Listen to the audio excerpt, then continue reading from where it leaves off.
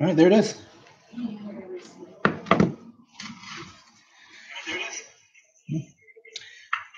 Well, if you're joining us, thanks for coming in, and uh, we're just gonna finish this lure right here. That's basically the last video. I left it blank so you can actually, you know, choose to do something, and uh, also to celebrate our 5,000 followers. So, let's get started.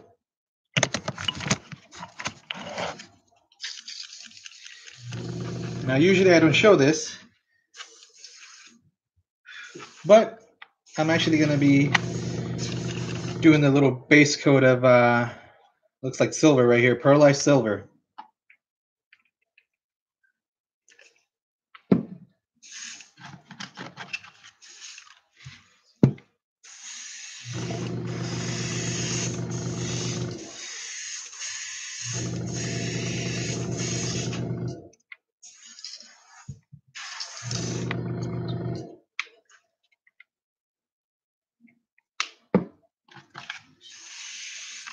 Too much light.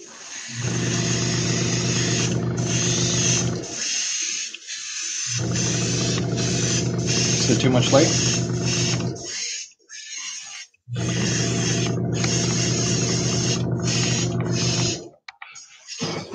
Well, it should start showing once the um,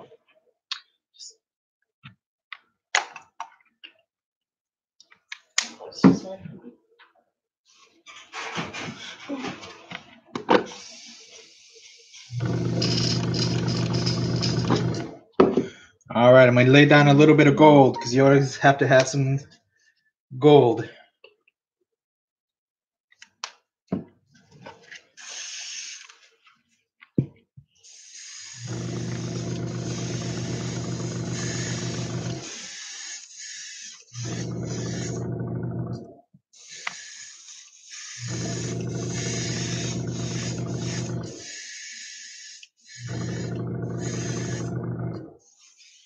So put a little bit of gold on those teeth.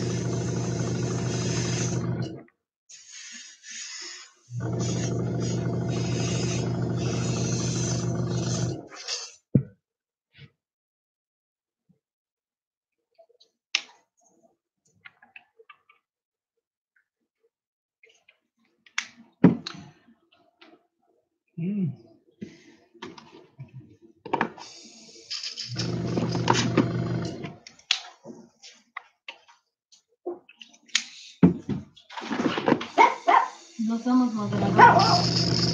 No. Checa. Déjame tu celular.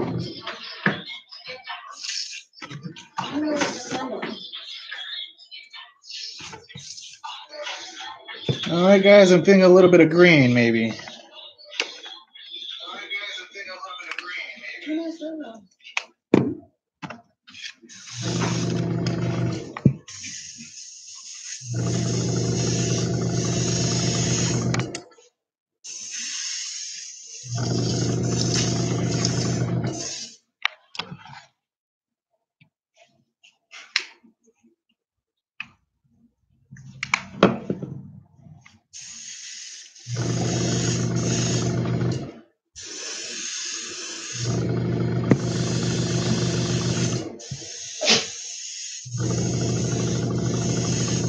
No se va a poder hacer de ahí. Ya traté.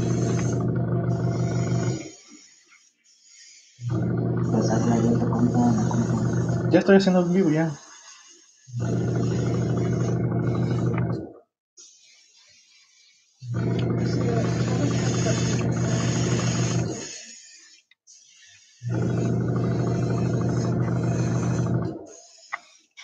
Ahí dámelo para atrás, no puedo ver.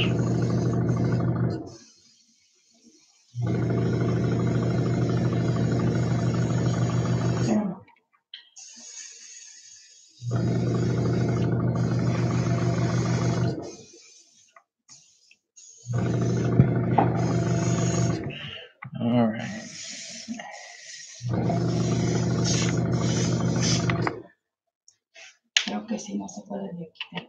Te dije. Espérate. Ya.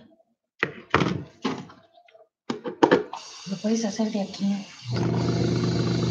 En vivo ya. No Ya déjalo ir ya.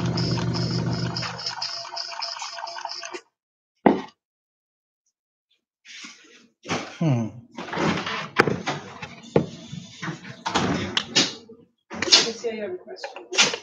From who? From Leanna Underwood. Hey, Leanna. I'm using uh, water-based airbrush paints.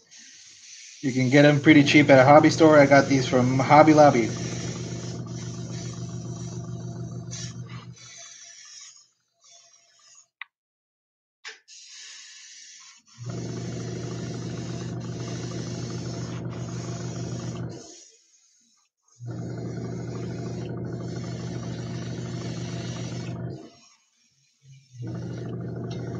Now, I'm not sure if you guys ever wonder why it is that I choose certain paints, but certain colors actually are able to be seen a lot deeper in the water. Certain others, within about a foot and a half, start to go because the uh, light wave pattern doesn't penetrate the water that deep. So the best color to use for deep diving lures or anything that's going to go below one and a half feet is actually blue. Any sort of metallic blue will do. But now you know. Y estoy usando este, pintura basada de agua mezclada con acrílico. All right, let's see. Hmm. So throw some of this metallic on top.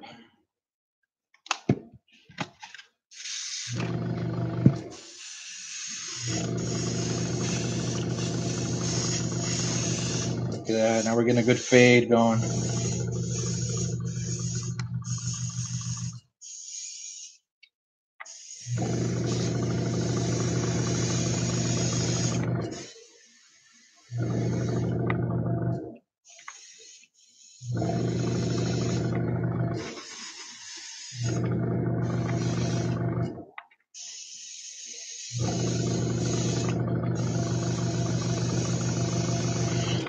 Now, if you guys ever want to get some detail, find detail in those lines right there, put your work at an angle and just slightly feather over it. The little ridges and undulations will catch a couple of particles of paint. And it'll give you that little extra highlight you're looking for.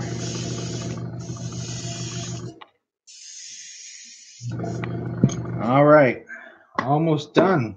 It's gonna be a quick one.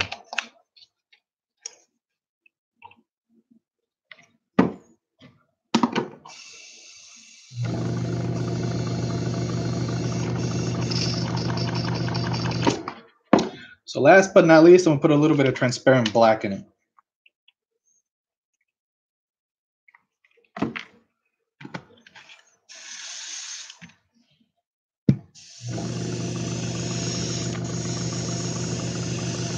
You always want to ease into the black.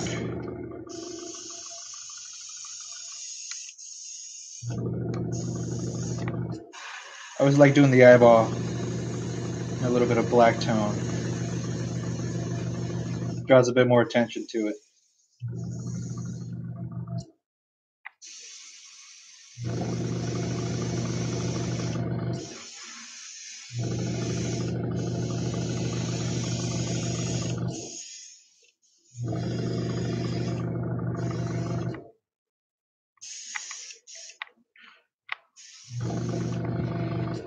So just put a couple of little stripes on there. Make it kind of give that barracuda type paint job.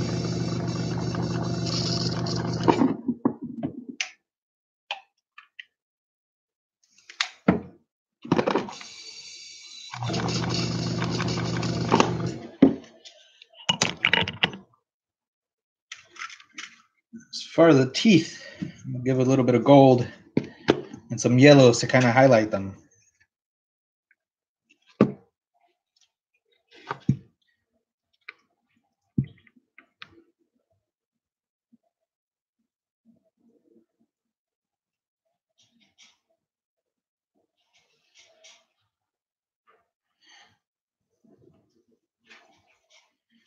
I'm really just trying to brush some of this on because I like some of the colors already on there. So not too heavy, just heavy enough to where it catches a bit. My fish are so stickler, man, I like it. Who? Pike Fisher says sick blur man, I like it, thumbs up. Thanks, Pike Fisher 1000. It's always nice to uh, see some of the people that like it. So shout out to Pike Fisher for uh, coming in.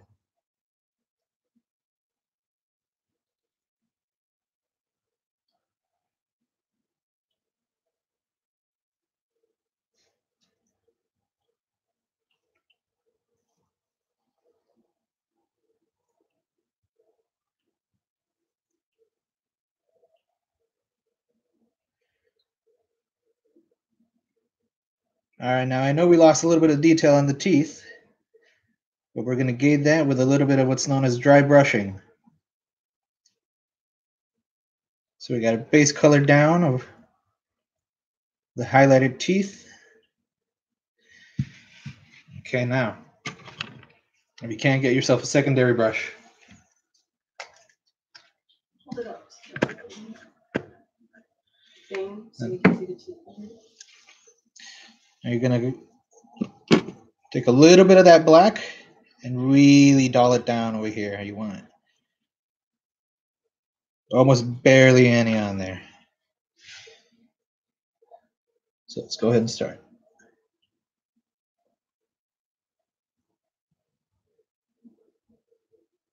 So this is really just to work into those nooks and crannies, not necessarily to actually paint it. It'll give you a nice little natural fade if you try to bring it up into the teeth.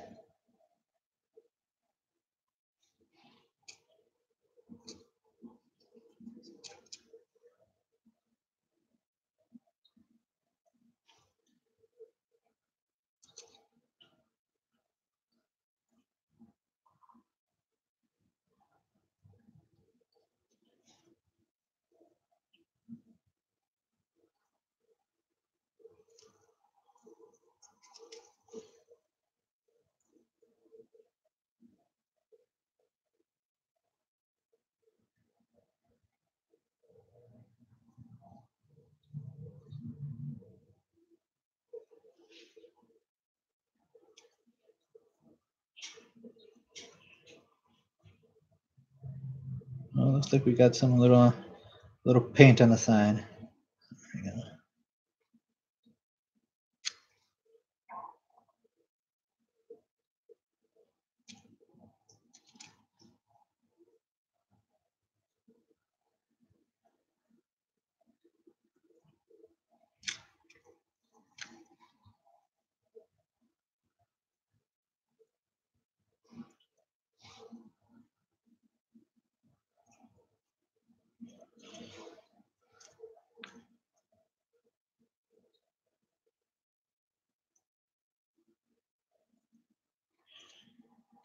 Now, sometimes I like to add a little bit of accent in little areas where I feel they should be deeper.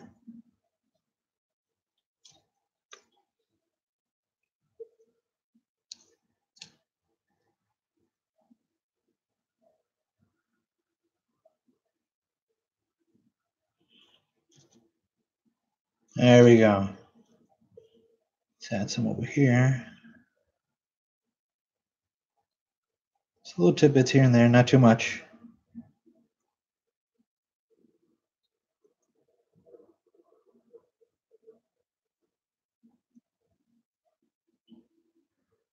All right, I like that.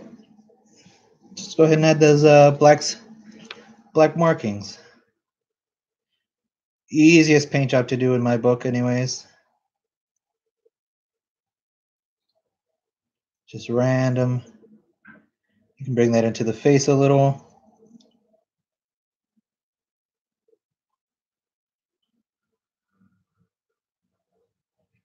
Kind of breaks it up a little. See more like a natural pattern, I guess.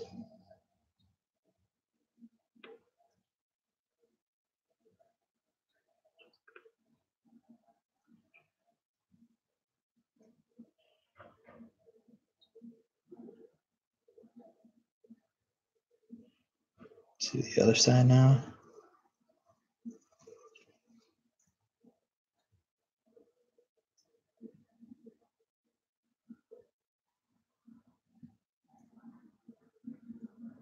Be nice and random with it.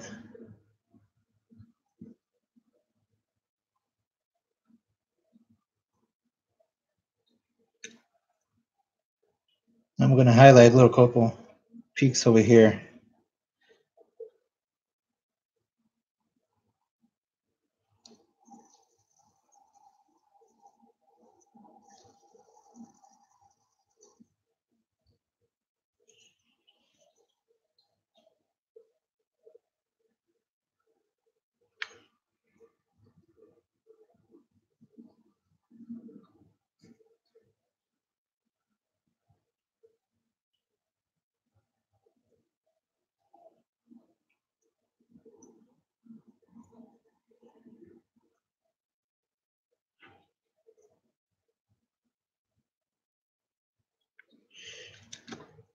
And now, this is just me. I always like to throw in a little bit of gold as well.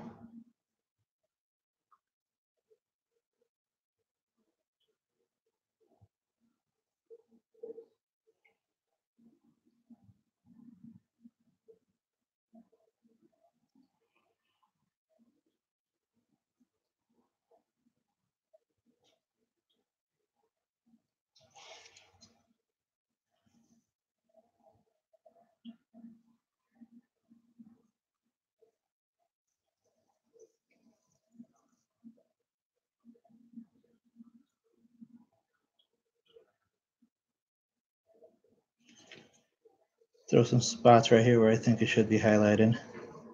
Right across that jaw. And brush your, dry your brush off and you can dry brush it right into this so you get a little bit more iridescent detail.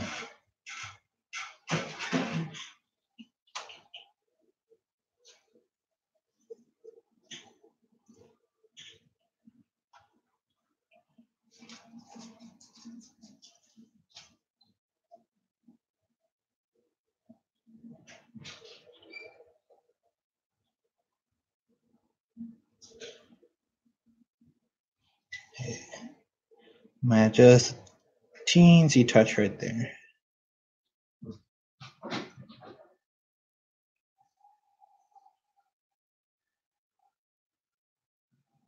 Just because I want to.